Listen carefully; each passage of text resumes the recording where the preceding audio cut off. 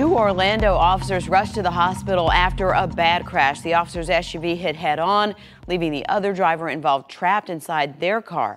It happened just a few hours ago at the intersection of John Young Parkway and Colonial Drive. Mark Lehman talked to police and joins us live from that scene now. We've learned two other people were hurt too, Mark.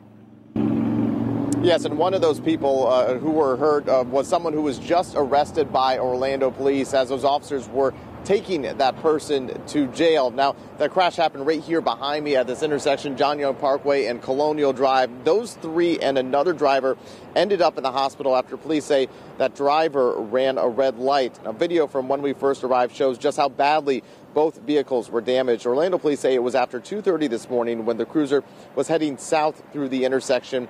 That's when investigators say the driver of a white sedan owned by a private security company turned directly into the cruiser's path. Police say the sedan did not have the green light and failed to yield, resulting in the head on crash.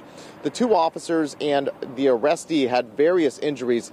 The sedan driver's injuries were more serious. All four were taken to the hospital, but they are expected to be okay. And as we come back out here live this morning, uh, this crash was cleared within the past uh, couple of hours. The big question that remains is if the driver responsible for the crash will face any charges in this. If that person was impaired or not, they will likely be cited.